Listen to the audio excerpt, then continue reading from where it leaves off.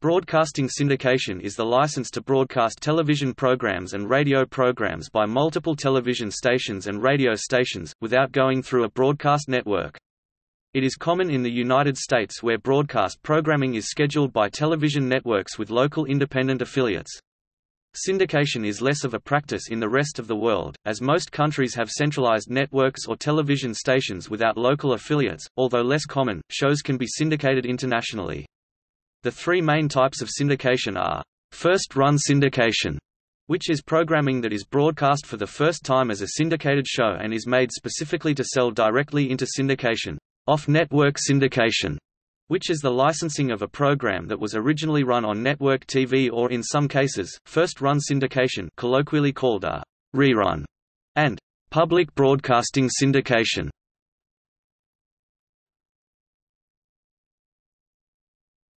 Topic: Types.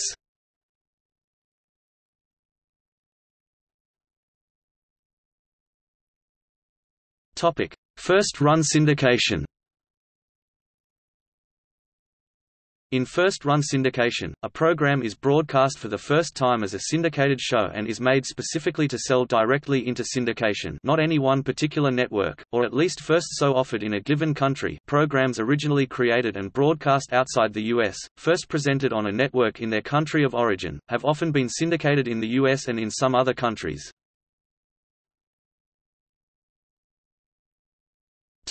Off-network syndication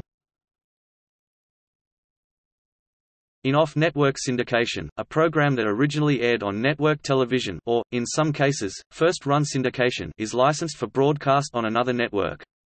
Reruns are usually found on stations affiliated with smaller networks like Fox or the CW, especially since these networks broadcast one less hour of prime-time network programming than the big three television networks and far less network-provided daytime television only one hour for the CW, none at all for Fox.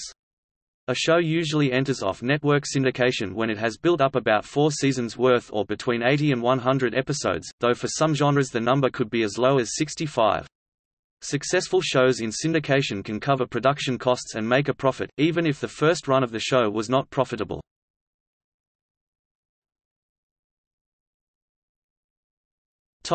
Public broadcasting syndication This type of syndication has arisen in the U.S. as a parallel service to member stations of the Public Broadcasting Service (PBS) and a handful of independent public broadcasting stations. This form of syndication more closely resembles the news agency model, where nominally competing networks share resources and rebroadcast each other's programs. For example, National Public Radio (NPR) stations commonly air the Public Radio Exchange's This American Life, which may contain stories produced by NPR journalists. When syndicating a show, the production company, or a distribution company called a syndicator, attempts to license the show to one station in each media market or area, or to a commonly owned station group, within the country and internationally. If successful, this can be lucrative, but the syndicator may only be able to license the show in a small percentage of the markets. Syndication differs from licensing the show to a television network. Once a network picks up a show, it is usually guaranteed to run on most or all the network's affiliates on the same day of the week and at the same time in a given time zone, in countries where this is a concern. Some production companies create their shows and license them to networks at a loss, at least at first, hoping that the series will succeed and that eventual off-network syndication will turn a profit for the show. A syndicated program is licensed to stations for cash the stations purchase the rights to insert some or all of the advertisements at their level, given to stations for access to airtime wherein the syndicators get the advertising revenue, or the combination of both. The trade of program for airtime is called barter.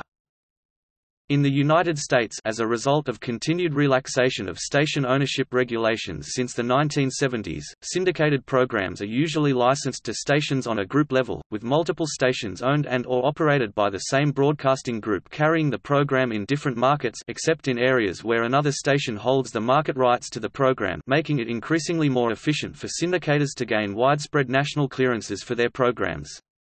Many syndicated programs are traditionally sold first to one of five key Station groups ABC-owned television stations, NBC-owned television stations, CBS television stations, Fox television stations and Tribune Broadcasting, allowing their programs to gain clearances in the largest U.S. TV markets such as New York City, Los Angeles, Chicago and Philadelphia, where all five aforementioned groups each own stations, before striking deals with other major and smaller station owners. Shows airing in first-run syndication that are carried primarily by an owned and operated station of a network may sometimes be incorrectly referenced as a network program, especially if said network's syndication wing distributes the program, regardless to its distribution to stations of varying network affiliations and despite the fact it is not part of an individual network's base schedule. Since the early 2000s, some programs being proposed for national distribution in first-run syndication have been test-marketed on a selected number of or all stations owned by certain major station group, allowing the distributor to determine whether a national rollout is feasible based on the ratings accrued in the selected markets where the program is being aired. While market penetration can vary widely and revenues can be unreliable, the producers often enjoy more content freedom in the absence of networks standards and practices departments. Frequently, some innovative ideas are explored by first-run syndicated programming which the networks are leery of giving airtime to. Meanwhile, top-rated syndicated shows in the United States usually have a domestic market reach as high as 98%. Very often, series that are aired in syndication have reduced running times. For example, a standard American sitcom runs 22 minutes, but in syndication it may be reduced to 20 minutes to make room for more commercials. Syndication can take the form of either weekly or daily syndication. Game shows, some tabloid and entertainment news shows, and talk shows are broadcast daily on weekdays, while most other first-run syndicated shows are broadcast on a weekly basis and are usually aired on weekends only. Big discussion occurred in the 1990s and 2000s about whether previously aired episodes of a show could become syndicated while new episodes of it continued to air on its original network. There had been much opposition to this idea and it was generally viewed to lead to the death of the show. However, licensing a program for syndication actually resulted in the increased popularity for shows that remained in production. A prime example is Law and Order,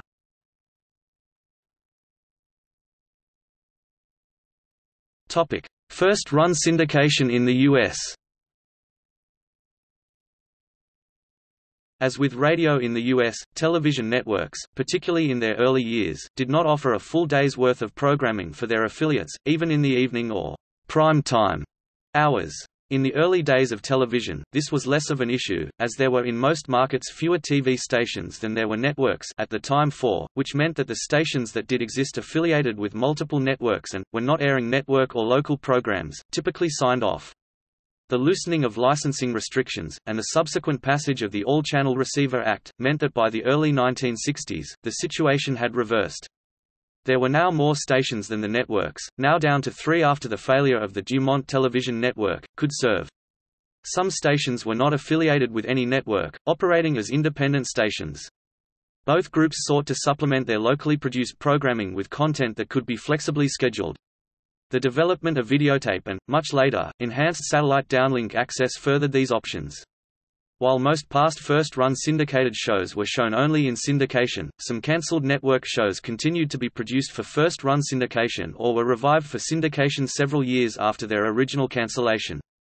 Until about 1980, most syndicated series were distributed to stations either on 16 mm film prints off-network reruns, feature films, and cartoons or videotape topical series such as the talk shows of Mike Douglas and Merv Griffin, and variety and quiz shows, Ziv Television Programs, Inc., after establishing itself as a major radio syndicator, was the first major first-run television syndicator, creating several long-lived series in the 1950s and selling them directly to regional sponsors, who in turn sold the shows to local stations.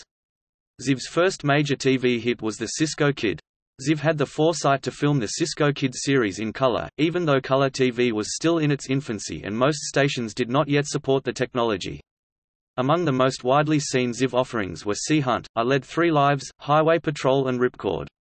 Some first-run syndicated series were picked up by networks in the 1950s and early 1960s, such as The Adventures of Superman and Mr. Ed. The networks began syndicating their reruns in the late 1950s, and first-run syndication shrank sharply, for a decade. Some stalwart series continued, including Death Valley Days. Other ambitious projects were also to flourish, however briefly, such as the Play of the Week (1959–1961), produced by David Susskind of the syndicated talk show Open End and also producer of such network fare as NYPD. Among other syndicated series of the 1950s were MCA's The Abbott and Costello Show vaudeville-style comedy and Guild Films Liberace musical variety and Life with Elizabeth, a domestic situation comedy that introduced Betty White to a national audience. In addition to the adventures of Superman, many other series were based on comic strips and aimed at the juvenile audience, including Flash Gordon, Dick Tracy, Sheena, Queen of the Jungle, and Joe Palooka. Original juvenile adventure series included Captain Gallant of the Foreign Legion, Cowboy G-Men, and Ramar of the Jungle. Series based on literary properties included Sherlock Holmes, Long John Silver based on Treasure Island, and The Three Musketeers. Several of these were co-productions between US and European usually British companies. Crusader Rabbit pioneered in the area of first-run animated series, followed by Bucky and Pepito, Colonel Bleep, Spunky and Tadpole, QT Hush, and others.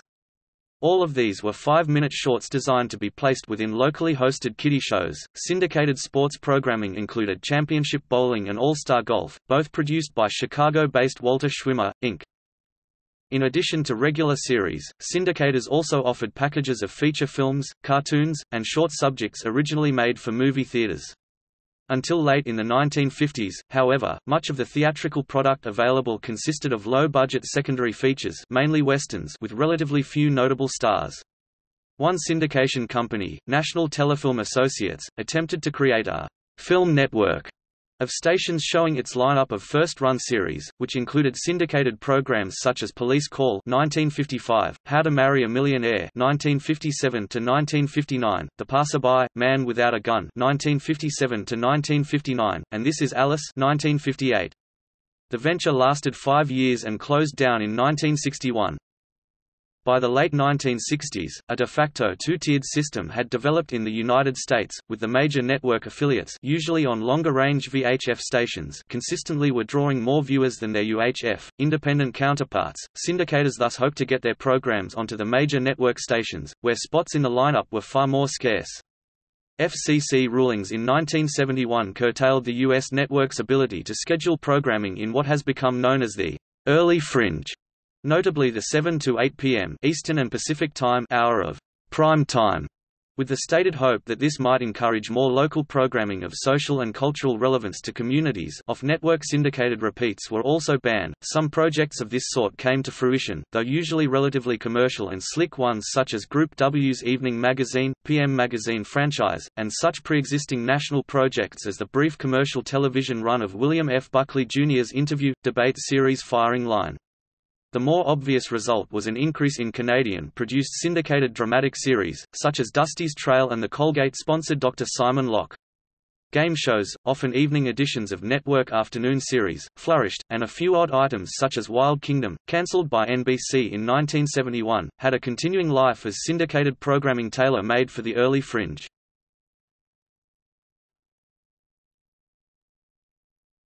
Topic: 1970s and 1980s. In 1971, the U.S. Federal Communications Commission passed the Prime Time Access Rule and Financial Interest and Syndication Rules, which prevented networks from programming one particular hour of prime time programming on its television stations each night and required the networks to spin off their syndication arms as independent companies. Although the intent of the rule was to encourage local stations to produce their own programs for this time slot, budgetary limits instead prompted stations to buy syndicated programs to fill the slot, this, coupled with an increase in UHF independent stations, caused a boom in the syndication market. In the 1970s, first-run syndication continued to be an odd mix, cheaply produced, but not always poor quality, filler programming. These included the dance music show Soul Train, and 20th Century Fox's That's Hollywood, a television variation on the popular That's Entertainment, theatrically released collections of film clips from the Metro-Goldwyn-Mayer Library. There were also many imported programs distributed this way. These include the documentary series Wild, Wild World of Animals repackaged by Time Life with narration by William Conrad and Thames Television's Sober and Necessarily Grim The World at War.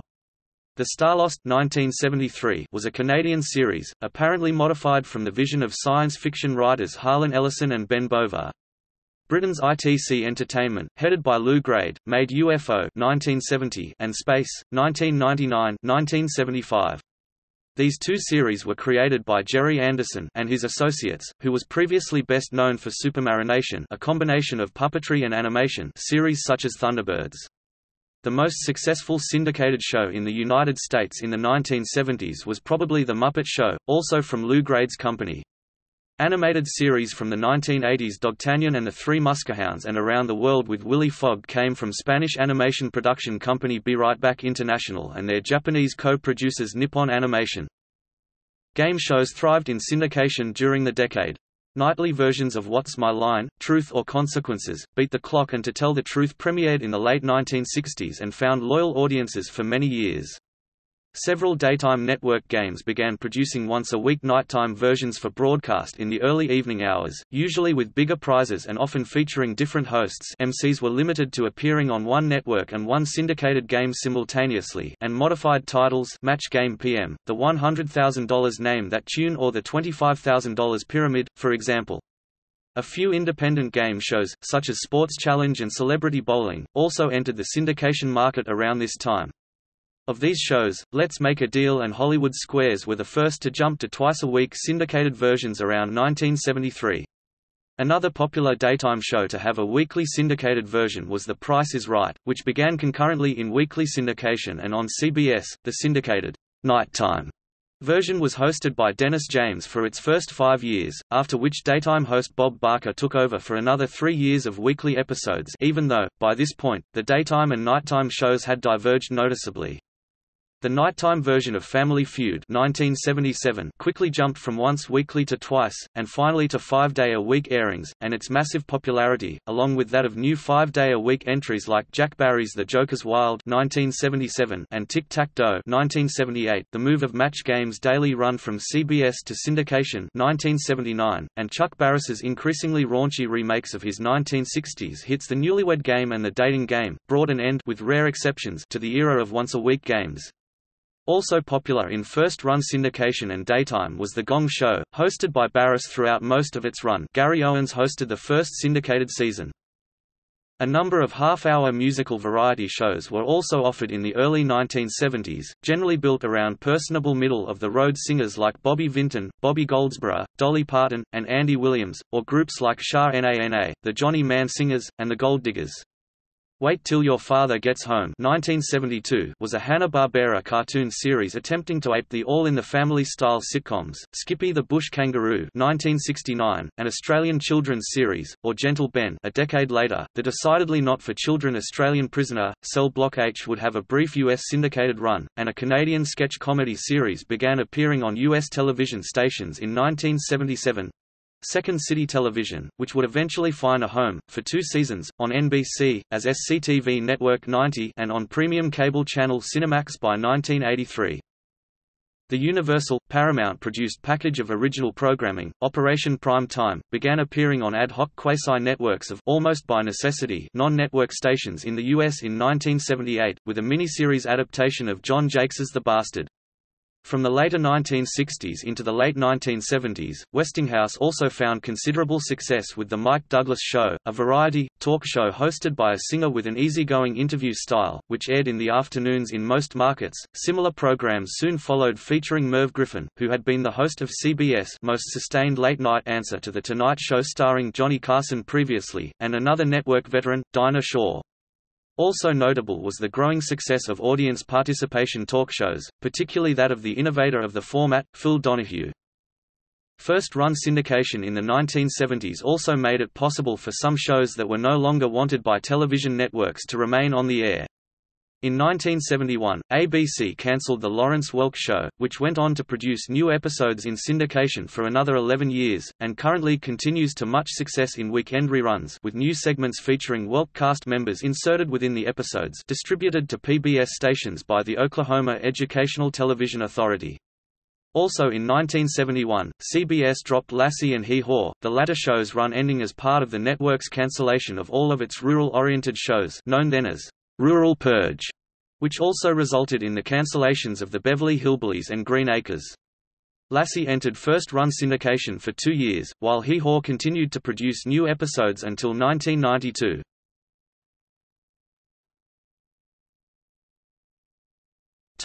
First-run syndicated comedy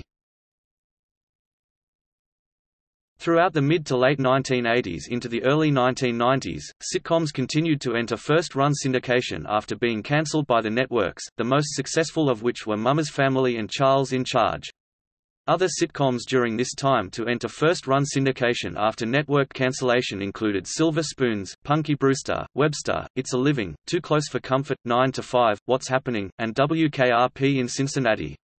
Many of these sitcoms produced new shows in syndication mainly to have enough episodes for a profitable run in reruns. Other sitcoms, such as Small Wonder, Out of This World, The Munsters Today, and Harry and the Hendersons as well as more action-adventure-oriented series like Superboy and My Secret Identity enjoyed success in syndication throughout their entire run. Topic dramatic First-run syndicated programs The broadcast networks aired many action-adventure programs from the 1950s to the 1980s. By the late 1980s, however, increasing production costs made them less attractive to the networks. Studios found that reruns of one-hour dramas did not sell as well as sitcoms, so they were unable to fully recoup the show's costs using the traditional deficit financing model. When NBC cancelled the television series adaptation of Fame after only two seasons, the producers made special arrangements with Pounds Communications, which resulted in MGM reviving the series for first-run syndication in the fall of 1983, where it continued for four more seasons, with the last first-run episode airing in the U.S. on May 18, 1987. Star Trek – The Next Generation debuted in 1987, and became the most watched syndicated show throughout its seven-year run. Its great success caused many others to debut. Friday the 13th, the series, a horror series which shared its title with the successful movie franchise, also debuted in 1987. The next syndicated shows that debuted in 1988 were War of the Worlds and Freddy's Nightmares. Baywatch, which debuted in 1989 on NBC and was cancelled after one season also became one of the most watched syndicated shows throughout its 10-year run, garnering a worldwide audience. By 1994, there were more than 21-hour syndicated shows. Star Trek, Deep Space Nine and Renegade were also syndicated. Hercules, The Legendary Journeys and its spin-off series Xena, Warrior Princess were also popular, often tying Deep Space Nine at 5% to 6% of the Nielsen-monitored audience. Forever Knight drew devoted cult audiences 3% rating.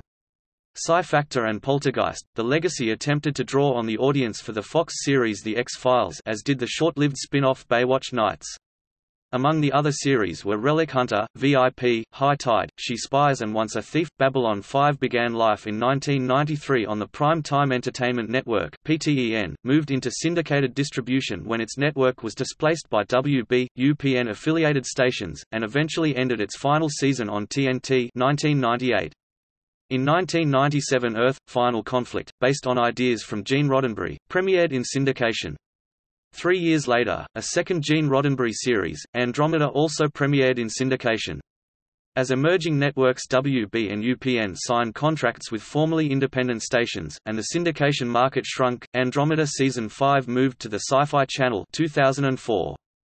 There was not another first-run syndicated drama or a first-run scripted series in syndication until 2008, when Disney ABC Domestic Television and ABC Studios teamed up with Sam Raimi to launch a new first-run syndicated series, Legend of the Seeker, based on Terry Goodkind's Sword of Truth novel series.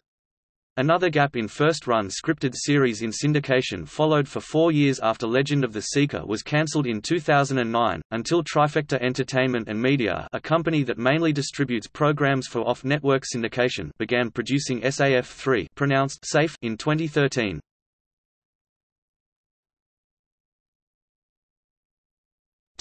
Animated series During the late 1970s and 1980s, independent stations signed on in mid-sized and many small markets. The market for made-for-television cartoons grew as a result to include a branch for such stations. It usually had a greater artistic freedom, and looser standards not mandated by a network. The older Bugs Bunny and Popeye cartoons made way for first-run syndicated cartoons such as He-Man and the Masters of the Universe, Inspector Gadget, Heathcliff, Thundercats, My Little Pony, The Transformers, G.I. Joe, Voltron, Teenage Mutant Ninja Turtles, and reruns of Scooby-Doo, Garfield and Friends, and The Pink Panther, among many others. In 1987, the Walt Disney Company tried its luck at syndication. DuckTales premiered that September and would eventually last for 100 episodes. The success of DuckTales paved the way for a second series two years later, Chip, Dale Rescue Rangers. The following year, the two shows aired together under the umbrella block The Disney Afternoon. In the fall of 1990, Disney added another hour to the Disney Afternoon. The block continued in syndication, running additional first-run animated series until 1999. These cartoons initially competed with the ones that were nationally televised on the broadcast networks. In the 1980s, national broadcast networks only aired cartoons on Saturday mornings, not competing with the weekday and Sunday syndication blocks aired by local independent stations. However, by the 1990s, Fox and then the WB launched their own weekday afternoon children's program blocks. By the end of the 1990s, both syndication distributors and broadcast networks ended up losing most of their children's market to the rise of cable television channels aimed at that audience such as Nickelodeon and Cartoon Network, which provided appealing children's entertainment throughout the week at nearly all hours. Syndication remains a method of choice for distributing children's programming, although this has gradually shifted to only produce programs to satisfy the federally mandated educational informational E.I. rule imposed in the late 1990s as part of an amendment to the Children's Television Act of 1990 that requires stations to air three hours of educational children's programs every week, regardless of the station's format.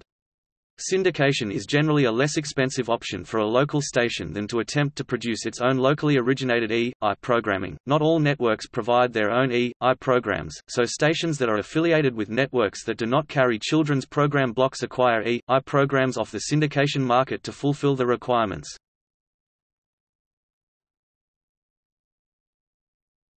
Topic: News programming and late-night talk shows. Also in the 1980s, news programming of various sorts began to be offered widely to stations.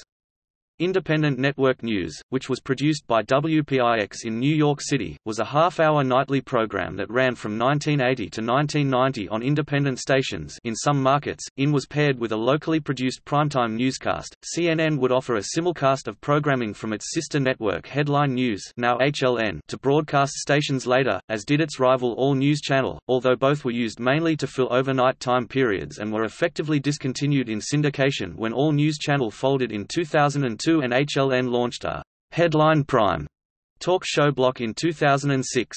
In 2019, Newsnet began offering a similar service to its affiliates. Entertainment Tonight began its long and continuing run as a soft news daily strip, with a number of imitations following among which have included such entertainment news shows as TMZ on TV, Extra and ET's own spin-off The Insider, and Tabloid. Television, in the wake of ABC's 2020 and, more immediately, 20th Television's A Current Affair, would become a syndication staple with such series as Hard Copy and Real TV.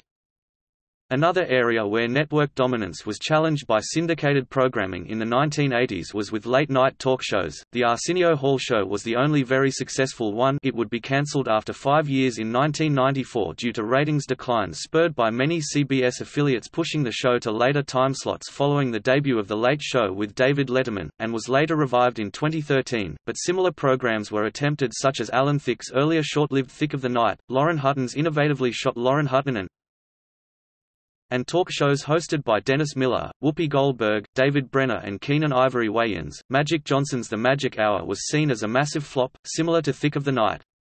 The popularity of syndicated talk shows fell dramatically in the mid-1990s as network and cable offerings expanded in the wake of Johnny Carson's retirement.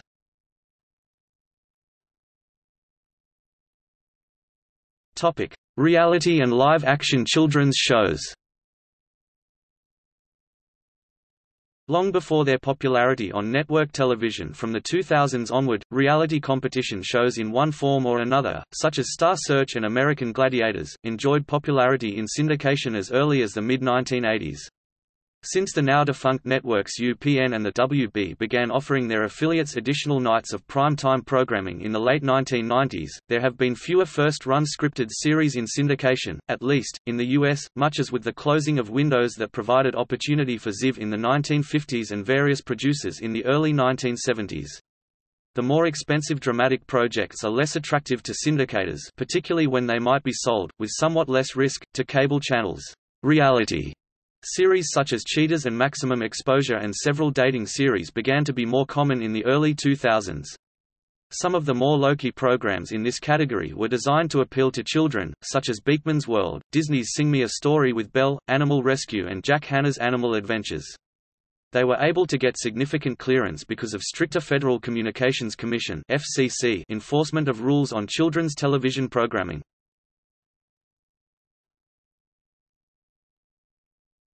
Topic: Game shows. Several game shows are currently syndicated. Historically, the most popular has been Wheel of Fortune and the current version of Jeopardy, both created by television personality Merv Griffin, respectively premiering in 1983 and 1984. The shows have been number 1 and number 2 or number 1 to number 3 in the syndication ratings consistently since at least the late 1980s. In fact, according to the Guinness Book of World Records, Wheel is the most popular syndicated television program both within and outside the United States. Family Feud, created by Mark Goodson and Bill Todman, ended its first syndication run in 1985. Three years later, a revival of the program featuring Ray Combs as host became a moderate hit and continued for seven seasons, its last year featuring the return of original host Richard Dawson in a failed attempt to save the series. A third revival hit the airwaves in 1999 and has gone through four hosts. The first three hosts Louie Anderson, Richard Karn and John O'Hurley struggled in their respective runs and only lasted three to four years. The current run of the program, hosted by Steve Harvey, has been a major ratings success. On the week of June 12, 2015, for the first time ever, Family Feud was the highest rated syndicated program in terms of average household ratings, while the current version of The Price is Right, another Goodson Todman game show, has enjoyed tremendous success on the CBS daytime schedule since its inception in 1972 under hosts Bob Barker and Drew Carey. It has also produced three spin-offs, two of which failed after one season. The most successful syndicated edition was the 1972–80 weekly version that was initially hosted by Dennis James, but in 1977, daytime host Bob Barker also hosted the nighttime version for the final three seasons. For the 1985–86 season, Tom Kennedy hosted a daily syndicated version, and in 1994–95, Doug Davidson emceed his own daily syndicated version, titled The New Price is Right. Unlike the daytime series, which expanded to its current one-hour length in 1975, the syndicated versions of Price were 30 minutes long. A Hollywood Squares revival also thrived beginning in 1998 under host Tom Bergeron, running six seasons until its 2004 cancellation. By far the most successful entry into the market in the 2000s has been the daily version of Who Wants to Be a Millionaire, which premiered in September 2002 and was cancelled in May 2019 after 17 seasons in syndication and a total run of 20 seasons dating back to the show's premiere in August 1999. Because game shows are very inexpensive to produce, with many episodes completed each day of production, successful ones are very profitable. For example, in 1988 Jeopardy! cost an estimated $5 million to produce but earned almost $50 million in revenue. New game show concepts that is, not based on an existing or pre-existing format are rarely tried and usually unsuccessful in syndication. Somewhat of an exception to this was Street Smarts, which lasted from 2001 to 2006 despite the series airing in late-night slots in many markets. Between 2003 and 2007, no new game shows debuted in syndication, marking four consecutive seasons where no new shows with that genre debuted, a syndication first. That streak ended with the fall 2007 debuts of Temptation and Merv Griffin's Crosswords, bringing the daytime tally to six game shows. Both ended production after one year, though Crosswords aired in reruns in some cities during the 2008–09 season before those reruns moved exclusively to cable. More new shows were added for the 2008–09 fall season, including a daytime run of Deal or No Deal which featured certain elements that differed from the show's franchised format, most notably with prospective players instead of models holding briefcases that held the monetary amounts and an adaptation of the popular board game Trivial Pursuit. While deal caught on and was renewed for the 2009-2010 season, Trivial Pursuit, America Plays suffered low ratings throughout its run and was cancelled. For the 2009-2010 season, the Fox game show Are You Smarter Than a Fifth Grader? moved to syndication with a new, less expensive format. Don't Forget the Lyrics, followed for the 2010-2011 season. Deal, suffering from falling ratings, was cancelled in February 2010, with the final episodes airing in late May of that same year. It would later be revived by CNBC in 2018. Fifth Grader and Don't Forget the Lyrics were cancelled the following year for the same reason, although Fifth Grader would later be revived by Fox and Nickelodeon on two different occasions. Reruns of the popular Discovery Channel show Cash Cab began airing in syndication in January 2011. Reruns of the GSN dating game show Baggage first aired in syndication as a test run in early 2011 on stations owned by the Sinclair Broadcast Group, which preceded its full launch into other markets in fall 2012, although it was removed from syndication after one season. The 2014–15 season saw the introduction of Celebrity Name Game, hosted by former The Late Late Show host Craig Ferguson. The series was renewed for a second season in January 2015, while Ferguson would also win a Daytime Emmy Award for Outstanding Game Show Host for his work on the program. In January 2016, Fox-owned and operated stations began a test run of South of Wilshire—a game show produced by TMZ. The 2017 summer season includes the game show, E-Weakness, Created by TV judge Judith Sheindlin. Topic: Strip talk shows. The dominant form of first-run syndication in the U.S. for the last three decades has been the stripped or strip talk show, such as Donahue, Oprah Winfrey, The Tyra Banks Show, and The Jerry Springer Show. Strip programming is a technique used for scheduling television and radio programming to ensure consistency and coherency. Strip programming is used to deliver consistent content to targeted audiences. Broadcasters know or predict the times at which certain demographics will be listening to or watching their programs and play them at that time. As with game shows, talk shows are inexpensive to produce and very profitable if successful. In many markets, a stripped show will be seen twice daily, usually with different episodes one being a more recent episode and the other being an episode from a previous season.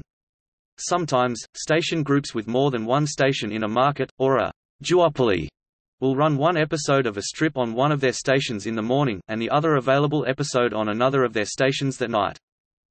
Meanwhile, the popularity of some of the audience participation talk shows continues to encourage new participants, some of whom, such as Morton Downey Jr. and Rosie O'Donnell, have brief periods of impressive ratings and influence, others, such as Oprah Winfrey and Maury Povich, have a sustained run. A notable scheduling decision was made by KRON TV in San Francisco. A 2000 dispute with NBC led to that station's disaffiliation from that network after 52 years, and since all the other larger networks were already represented in San Francisco, KRON decided to become one of the largest commercial independent stations by market size on the VHF band in the US, and soon tried running Dr. Phil, a popular new stripped series hosted by Winfrey associate Phil McGraw, in primetime, with impressive ratings results.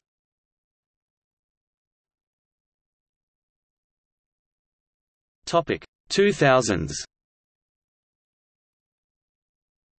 First-run syndicated shows in the United States include talk shows e.g., The Dr. Oz Show, Dr. Phil, Steve, The Real, The Doctors, Face the Truth, The Jeff Probst Show and The Ellen DeGeneres Show, tabloid, news magazine shows e.g., TMZ Live, crime, law enforcement shows e.g., Crime Watch Daily, game shows e.g., Hollywood Squares, Funny You Should Ask, Family Feud, Jeopardy! and Wheel of Fortune, reality court shows e.g., Judge Judy, Judge Mathis, Judge Faith, Hot Bench and The People's Court, and sitcoms e.g. The First Family.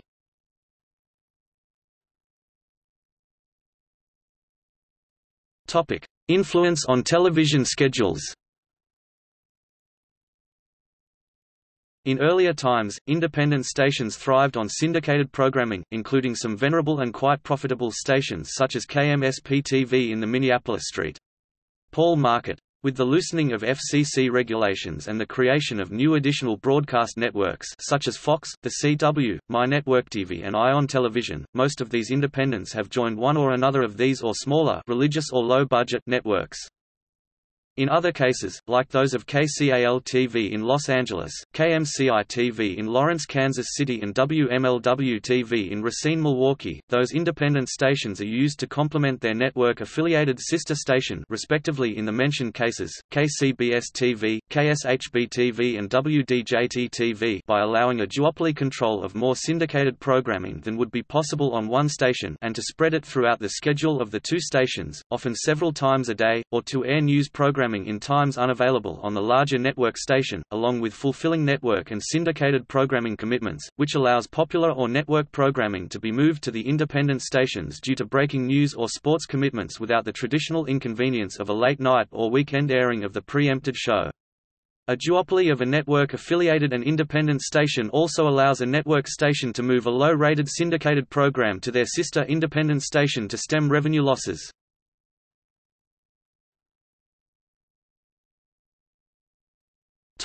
Off-network syndication Off-network syndication occurs when a network television series is syndicated in packages containing some or all episodes, and sold to as many television stations and markets as possible to be used in local programming timeslots. In this manner, sitcoms are preferred and more successful because they are less serialized, and can be run non-sequentially, which is more beneficial and less costly for the station. In the United States, local stations now rarely broadcast reruns of primetime dramas or simply air them primarily on weekends, instead, they usually air on basic cable channels, which may air each episode 30 to 60 times. Syndication rights typically last for six consecutive showings of a series within three to five years. If a program continues to perform well enough in broadcast or cable syndication during the initial cycle, television stations or cable networks can opt to renew an off-network program for an additional cycle. Syndication has been known to spur the popularity of a series that only experienced moderate success during its network run. The best-known example of this is the original Star Trek series, which ran for three seasons on NBC from 1966 to 1969, gaining only modest ratings, but became a worldwide phenomenon after it entered off-network syndication. Its success in syndication led to the Star Trek film series, Star Trek The Next Generation, and the later versions in the franchise. It is common for long running series to have early seasons syndicated while the series itself is still in first run network production. In order to differentiate between new and rebroadcast content, until the 1980s it was not uncommon for series to be syndicated under a different title than that used in their original broadcast run. Examples include Bonanza which was syndicated as Ponderosa, Gunsmoke as Marshal Dillon, a title still used to differentiate reruns from the early, half-hour and black-and-white episodes of the show from the later one-hour color episodes, Emergency. As Emergency 1, Ironside as The Raymond Burr Show, Hawaii Five-O as McGarrett, M** ASH as M** ASH 4077, Marcus Welby, M.D as Robert Young, Family Doctor, Chips as Chips Patrol, and Happy Days as Happy Days Again. Syndication of older episodes can also increase exposure for a television show that is still airing first-run network episodes. In the case of the CBS sitcom The Big Bang Theory, its syndication, particularly on TBS, is one of the reasons attributed for a rise in first-run ratings for its sixth season. The sixth season episode, The Bakersfield Expedition, for example, was the first episode of that series to attract 20 million viewers.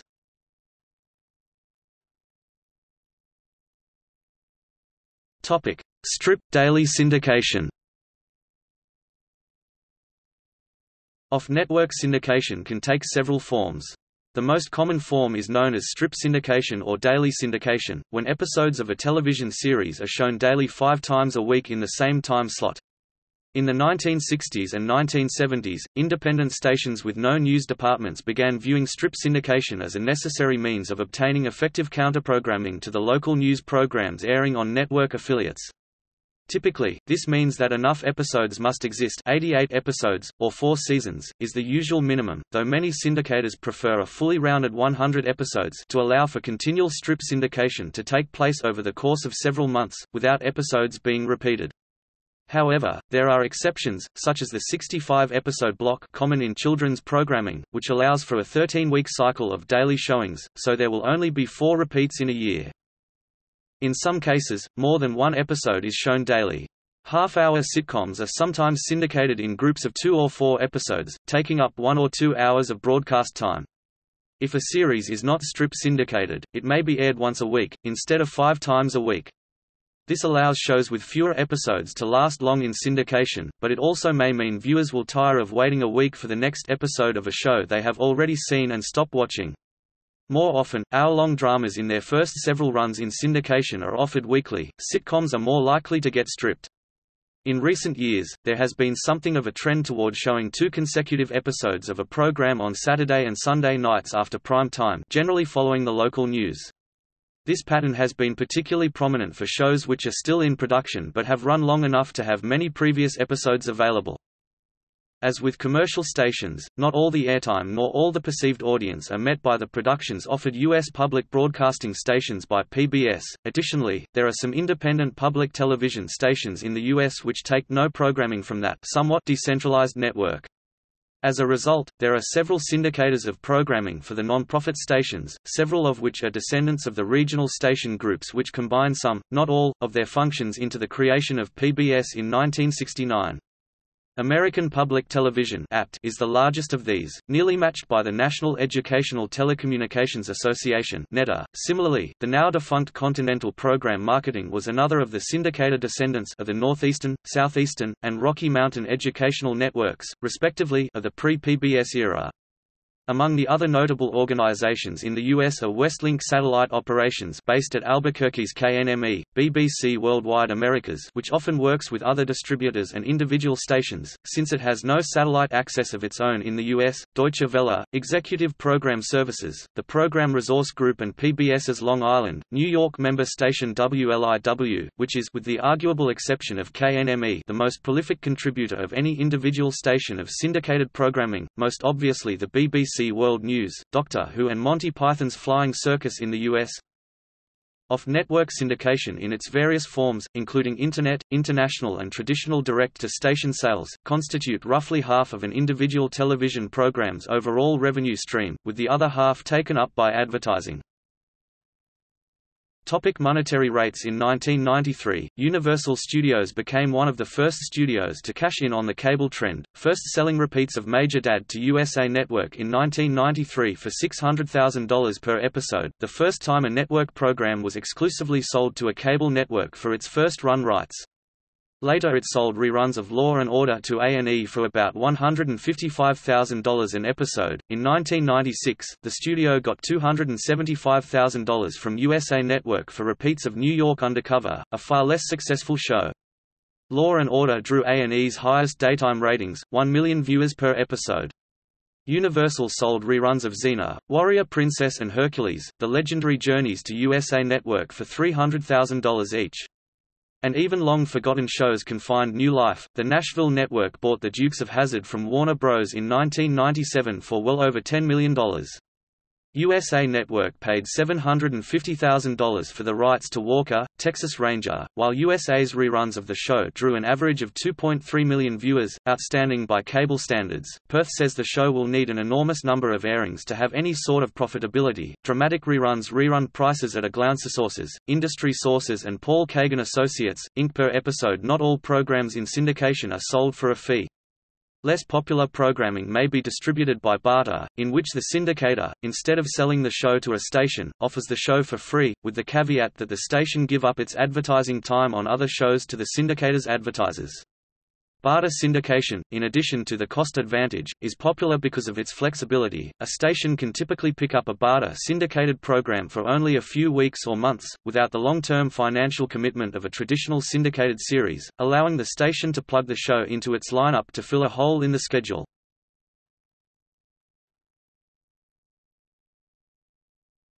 Topic: Types of deals. Cash deals are when a distributor offers a syndicated program to the highest bidder. A cash plus deal is when the distributor retains advertising space to offset some of the cost for the program.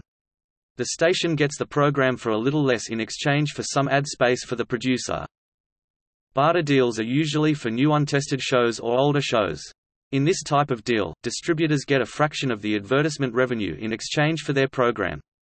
For example, in a 7 fifths deal the producer gets 7 minutes of advertising time, leaving 5 minutes for the station to insert local as well as national advertisements. Topic radio syndication Radio syndication generally works the same way as television syndication, except that radio stations usually are not organized into strict affiliate-only networks. Radio networks generally are only distributors of radio shows, and individual stations though often owned by large conglomerates decide which shows to carry from a wide variety of networks and independent radio providers. As a result, radio networks such as Westwood-One or Premiere Networks, despite their influence in broadcasting, are not as recognized among the general public as television networks like CBS or ABC many of these distributors ally themselves with television networks. Westwood-One, for instance, is allied with NBC, while Premiere is allied with Fox. Some examples of widely syndicated commercial broadcasting music programs include weekly countdowns like Rick Dees' Weekly Top 40, The American Top 40, American Country Countdown with Kix Brooks, Canada's Top 20 Countdown, the Canadian Hit 30 Countdown and the nightly program, Delilah, heard on many U.S. stations. Syndication is particularly popular in talk radio, while syndicated music shows with the exception of some evening and overnight shows such as Delilah mentioned above tend to air once a week and are mostly recorded, most popular talk radio programs are syndicated daily and are broadcast live. Also, with relatively few 24-hour live talk radio networks though this, in recent times, has been changing, most radio stations are free to assemble their own lineup of talk show hosts as they so choose. Examples of syndicated talk programs are Premiere Network's The Bob and Tom Show, Dial Global's The Jim Bohannon Show, and the self-syndicated The Dave Ramsey Show more recently, talk networks such as Talk Radio Network have been marketing and packaging all-day lineups, marking a departure from the syndication model. As such, popular shows such as Cumulus Media Network's The Savage Nation and Premiere's The Rush Limbaugh Show now air as part of a broader network lineup in many markets, particularly on Premiere-owned and operated stations, though they continue to be syndicated to non-network stations as well. Talk syndication tends to be more prevalent because voice tracking, a practice used by many music stations to have disc jockeys host multiple supposedly local shows at once, is not feasible with live talk radio. National Public Radio, Public Radio International, and American Public Media all sell programming to local member stations in the U.S., most of which are subsidized through the Corporation for Public Broadcasting but operated by private nonprofit organizations, universities, state or local governments. This is in contrast to centralized public radio networks in other countries such as Canada's CBC, Australia's ABC and the United Kingdom's BBC that own and operate all of their stations as arms of the national government and run them as a strict network. From 1948 to 2013, the United States had a strict anti-propaganda law, the Smith-Mundt Act, that prohibited broadcasting government-owned networks such as Voice of America to American audiences. The law was mostly repealed in 2013, but distribution of VOA or other federally produced radio programming is still rare. Two independently produced, non-commercial syndicated programs, heard on hundreds of community radio and indie radio stations, are Alternative Radio and Democracy Now! Some in fact, most radio programs are also offered on a barter system usually at no charge to the radio station. The system is used for live programming or pre-produced programs and include a mixture of ad time sold by the program producer as well as time set aside for the radio station to sell.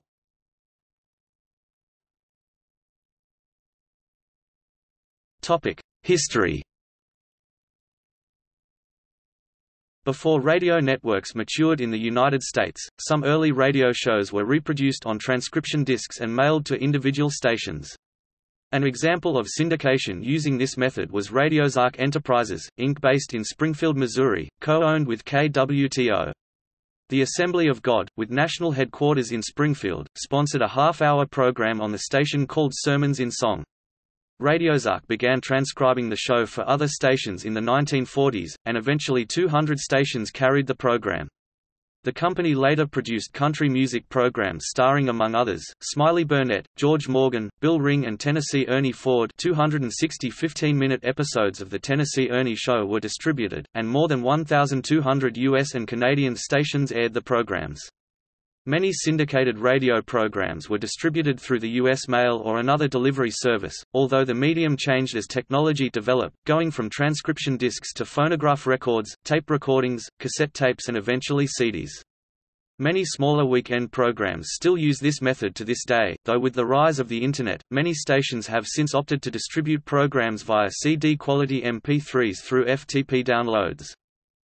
It was not until the advent of satellite communications in the 1980s that live syndication became popular though it could be transmitted through network lines, it was not particularly common because of cost, network congestion and quality issues. Since then, most syndicated radio programs are distributed using satellite subcarrier audio technology. Shortly after satellite networks such as RKO, Transtar and SMN began, the Fairness Doctrine was repealed, which is credited with helping Rush Limbaugh become the first national talk radio superstar. At the same time, the FCC began issuing more FM radio licenses to suburban and rural areas in the late 1980s, which allowed more room for music stations on the FM dial. Radio formats such as country music that were traditionally AM fixtures even after most pop and rock music moved to FM were now moving to FM as well, leaving much more room for talk formats on the AM dial. As the 1990s went on, Dr. Laura and Howard Stern began their national shows, rising to become national icons. The Telecommunications Act of 1996, which led to significant concentration of media ownership, facilitated the rapid deployment of both existing and new syndicated programs in the late 1990s, putting syndication on par with, and eventually surpassing, the network radio format. After the September 11, 2001 terrorist attacks, syndicated talk radio saw a notably rapid rise in popularity, as networks rushed new national shows into syndication to meet the demand for discussion of national issues. Many of these, such as Laura Ingraham, Bill O'Reilly, Sean Hannity and Glenn Beck, were mostly supportive of the actions of the Republican-led government. A few others, such as Alex Jones, were openly critical of the government's actions and motives. After the Democrats took control in the late 2000s, the gap between the two styles narrowed due to the mutual opposition of both camps to the government's actions, which allowed Jones greater clearance on stations. In contrast to conservative talk radio, which has predominantly been driven by syndication, progressive talk radio has almost always been a network-driven model. The incompatibility of conservative and progressive ideologies and the lack of syndicated progressive hosts required solutions that could produce all-day programming to individual stations. It was not until Air America Radio launched in 2004 that Progressive Talk would become viable, though it failed several years later. Dial Global now carries a network slate that is carried on most Progressive Talk stations. Sports radio is likewise mostly a network phenomenon, partially because the irregular nature of sports preemptions makes having a full time network to be able to cut into and join in progress at any time highly convenient. Syndicated radio is not as popular in other parts of the world. Canada has a few independently syndicated shows, but the bulk of syndicated content there comes from the United States, and the sum total of syndicated programming is far less than most American stations, as Canadian stations rely more heavily on local content. Most other countries still follow the network radio model.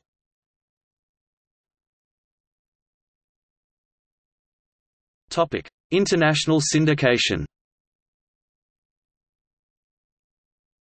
Syndication also applies to international markets. Same-language countries often syndicate programs to each other, such as programs from the United Kingdom being syndicated to Australia and vice versa.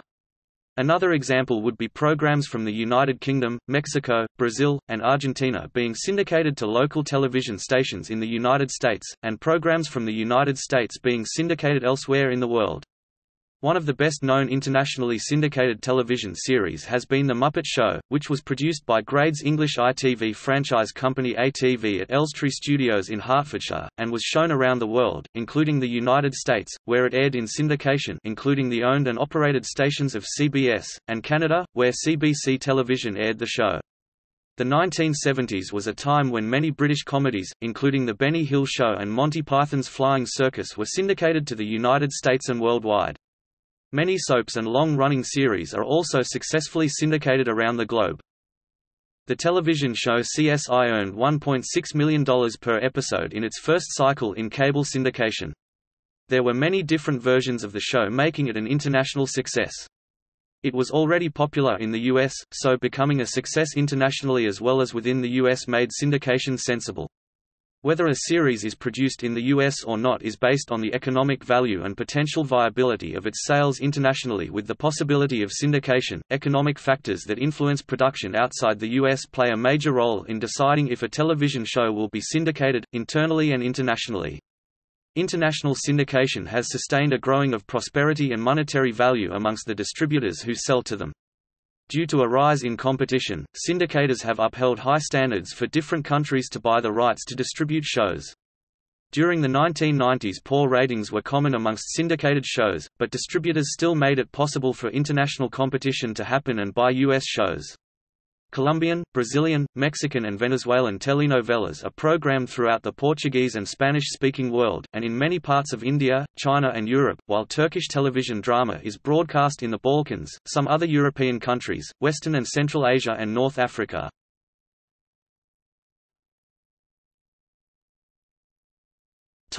U.S.-style syndication internationally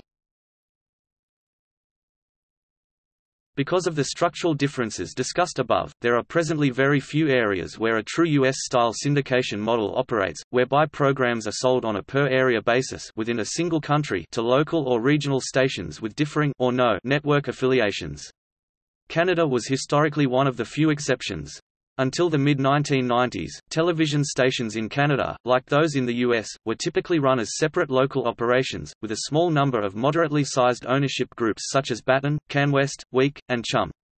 Those stations that were affiliated with a national network, i.e.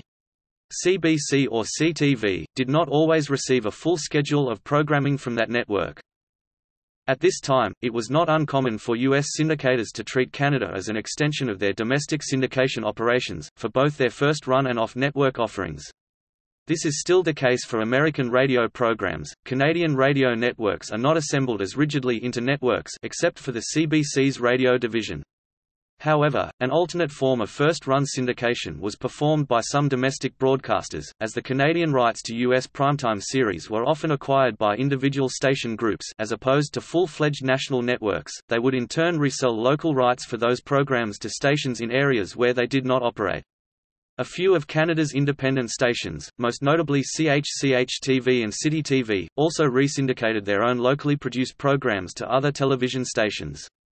Unlike in the United States, however, few Canadian programs were ever created solely for syndication without officially belonging to at least one specific station or network. Those that did exist were intended primarily to be syndicated into the American system, and even those were typically distributed in Canada as network programs rather than being sold to individual stations.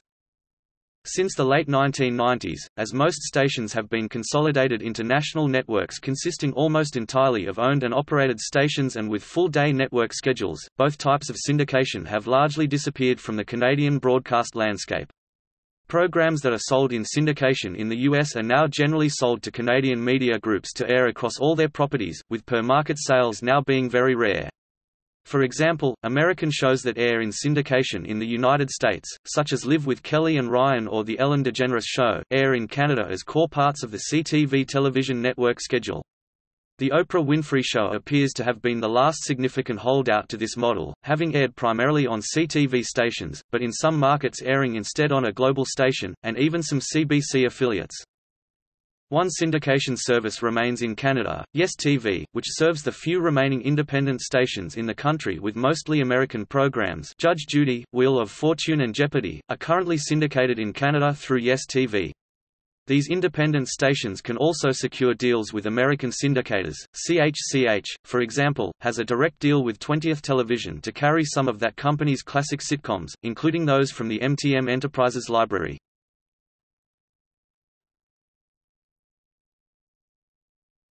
Topic: Regional syndication. There are three key reasons why a radio station will decide to pick up a syndicated show, the program is unique and has difficult to replicate content, has a decent ratings track record or offers a celebrity host. New developing radio programs are generally able to claim one of these attributes, but not all three. Regional syndication attempts to replace these benchmark attributes with other benefits that are generally recognized by the industry as also being important. Given the financial downturn within the industry, the need for quality cost-effective locally relevant programming is greater than ever before. Programs that offer regionally specific content while providing the economic benefits of syndication can be especially appealing to potential affiliates. Regional syndication can also be more attractive to area advertisers who share a common regional trading area versus assembling a radio network of stations that hopscotch across the United States.